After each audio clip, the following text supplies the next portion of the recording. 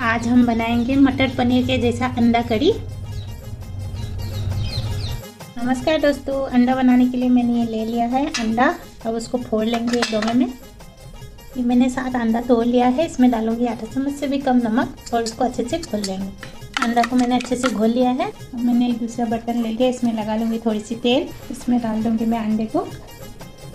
इधर मैंने कढ़ाई में पानी गर्म कर लिया है। अब इसमें रख दूँगी अंडे की घोल को इस तरीके से। अब इसमें लगा देंगे ऊपर से ढक्कन और गैस को हाई कर देंगे। अंडा हमारी पक रही है। अब मैंने मसाला के लिए प्याज काट लिया है, थोड़ा लहसुन, अदरक, लाल मिर्च और जीरा और काली मिर्च ले लिया, थोड़ा टमाटर काट लिया है। एक पैन मैंने गरम कर लिया है, इसमें डालूँगी थोड़ी सी तेल। तेल में मैं सभी चीज़ों को डाल लूँगी थोड़ा दो मिनट के लिए फ्राई कर लेंगे। इस तरीके से मसाला बनाने से हमारी सब्ज़ी जल्दी बन जाती है, क्योंकि मसाला पकाने में हमें ज़्यादा टाइम लगता है, और इस तरीके से बनाने से जल्दी बन जाते है। हमारी प्याज टमाटर कुछ ये हो गई है तो कच्चापन चलेगा इसको गैस बंद करके इसको ठंडा करके हम मिक्सर जार में पीस लेंगे।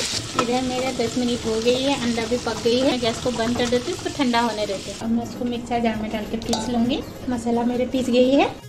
देखो, अंडा हमारी अच्छे से पक गई है। अब मैं इसको पनीर के जैसा पीसेस करके काट लूँगी। इसको मैंने अंडे को काट लिया है। अब मैंने पैन में थोड़ी सी तेल डाल लूँगी। तेल गर्म हो गया, इसमें डालूँगी थोड़ी सी हल्दी पाउडर। इसमें अंडे को डाल लूँगी और दो मिनट इसको अंडे को फ्राई कर लेंगे।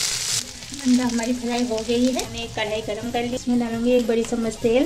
तेल हमारी गर्म हो गई। इसमें डालूँगी एक चम्मच हल्दी पाउडर, एक चम्मच लाल मिर्च पाउडर, एक चम्मच धनिया पाउडर। इसमें डाल दूँगी मैं पिसा हुआ मसाला। इसी में डालूँगी मैं डेढ़ चम्मच नमक।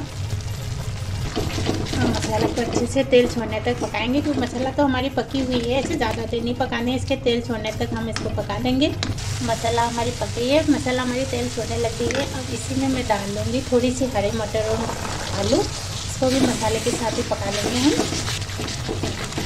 एक मिनट के लिए इसमें ढक्कन लगा दूँगी। और दो मिनट मैंने पका लिया है देखिए। मसाले के साथ हमारी आलू भी पक गई है। अब इसमें डालूँगी मैं थोड़ी सी पानी मैंने गर्म पानी लिया है। मसाले के साथ आलू मटर भी पक गए, अब इसमें हम डालूँगी कटे हुए अंडे को। बिल्कुल मटर पनीर के जैसा हमारी ये अंडे की सब्ज़ी बन के रेडी है। ये खाने में भी बहुत स्वाद होती है, पता नहीं लगती अंडा है या पनीर। अगर अच्छा लगे तो लाइक और सब्सक्राइब ज़रूर करना। इसमें डालेंगे मैं थोड़ा सा हरा धनिया। ये बन गई है हमारे बिल्कुल मटर पनीर के जैसे अंडा कड़ी खाने में बहुत स्वादिष्ट होती है।